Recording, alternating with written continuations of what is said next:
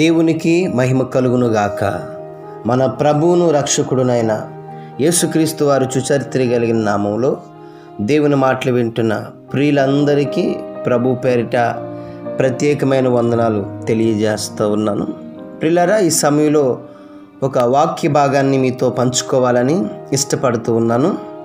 కీర్తనల గ్రంథము ముప్పై నాలుగవ కీర్తన.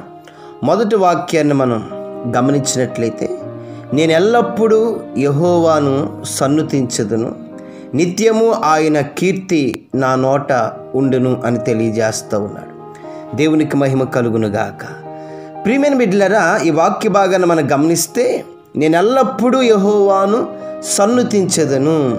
ఎప్పుడు కూడా ఆయన కీర్తి నా నోట ఉంటుందని భక్తులు సెలవిస్తూ ఉన్నాడు. మన పరిస్థితులు ఏదైనా మన స్థితి ఏదైనా కానీ దేవుణ్ణి స్థుతించడం దేవుణ్ణి గనపరచడం మనం నేర్చుకోవాలి. ఏ పరిస్థితుల్లోనైనా లేములోనైనా కలిమిలోనైనా ఆరోగ్యంలోనైనా అనారోగ్యంలోనైనా ఉన్నత స్థితి అయినా లేని స్థితి అయినా ఏ పరిస్థితుల్లోనైనా దేవుణ్ణి మనం గనపరుస్తూ ఆయనకు కృతజ్ఞతాస్థుతులు చెల్లించడం చేయ చేసినట్లయితే దేవుని యొక్క కార్యాలను మన జీవితంలో పరిపూర్ణంగా మనం అనుభవించగలుగుతూ ఉంటాం. ఈరోజు మన జీవితంలో ఎందుకు మేలుని అనుభవించలేకపోతున్నాం? ఎందుకు దేవుని యొక్క కార్యాలను మనం చవి చూడలేకపోతున్నామంటే దానికి తగిన కారణం ఏంటంటే దేవుణ్ణి స్థుతించి దేవునికి కృతజ్ఞత స్థుతులు చెప్పే యొక్క అనుభవం మన జీవితంలో లేదు. కాబట్టినే పిల్లరా దేవుని యొక్క కార్యాలు కనులారా మనం చూడలేకపోతుంటున్నాం. ఈ సమయంలో మీతో ఒక సన్నివేశాన్ని పంచుకోవాలని ఇష్టపడుతూ ఉన్నాను బిడ్డలరా. ఒక తొంభై మూడేళ్ళ వృద్ధుడికి ఒక భయంకరమైన వ్యాధి సోకింది. ఆ వ్యాధి యొక్క కారణాలు బట్టి అతన్ని వైద్యులు వెంటిలేటర్ మీదకి ఏర్పాటు చేయడం జరిగింది. అయితే అక్కడ డాక్టర్స్ ట్రీట్మెంట్ చేయడం మొదలుపెట్టిన తర్వాత ఈ యొక్క వృద్ధుడి యొక్క వ్యాధి అంతా కూడా నయమైంది. బాగా డిశ్చార్జ్ చేస్తూ ఉన్నారు. అయితే ఆ డిశ్చార్జ్ చేసే యొక్క రోజు అతను వెళ్ళే యొక్క ముందు ఆ హాస్పిటల్ ఎంత ఖర్చు అయిందో ఆ బిల్లు చేతిలో పెట్టడం జరిగింది.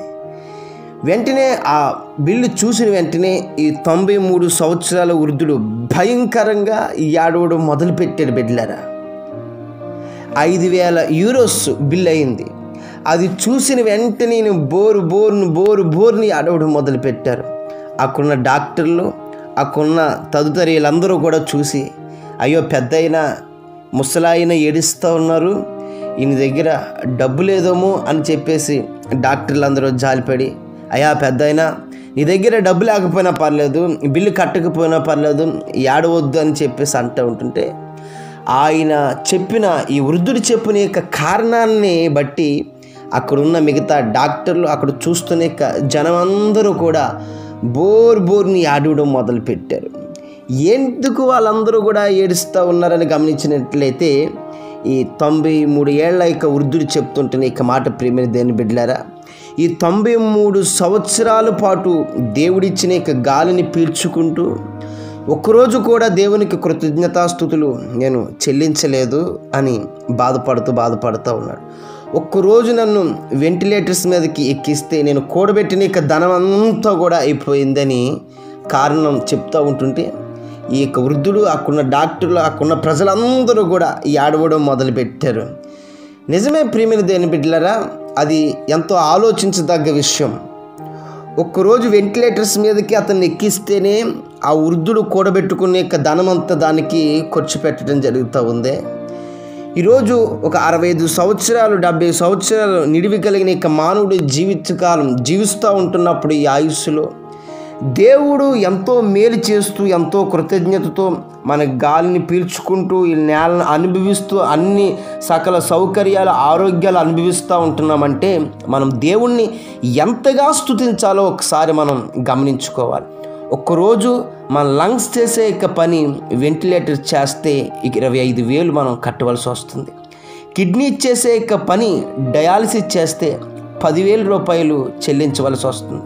హార్ట్ lungs మిషన్ అయితే రోజుకి లక్షల లక్షల్లో మనం చెల్లించవలసి వస్తుంది.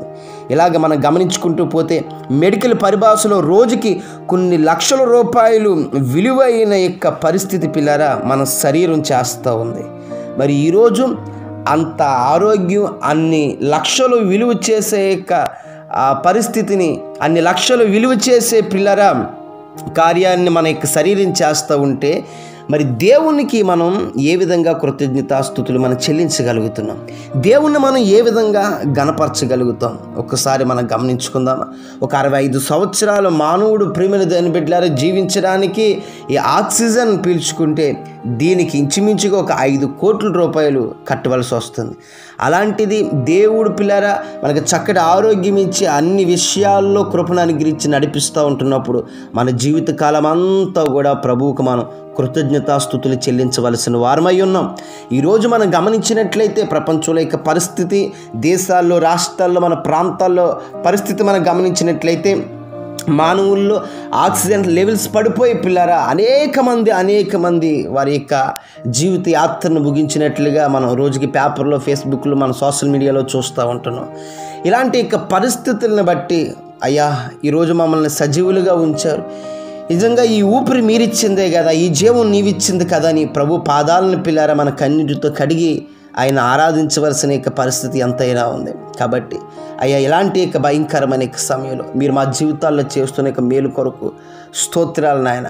మా ప్రాంతాన్ని మా ప్రజలందరినీ దీవించండి. ఈ భయంకరమైన యొక్క వైరస్తో నాయన ప్రభు ప్రజలు బాధపడుతుంటే వారికి కావలసిన యొక్క నాయన ప్రభు ఆక్సిజన్స్ లేవని మీరు అందించండి అనుగ్రహించండి అని చెప్పేసి ప్రభు పాదాల చెంత మనం ప్రాధేయపడుతూ గడుపుతూ పిల్లరా దేవుడు ప్రతి బిడ్డని స్వస్థపరిచి కార్యాలు జరిగించాలని ఆయన సన్నిధిలో ప్రార్థన చేద్దాం.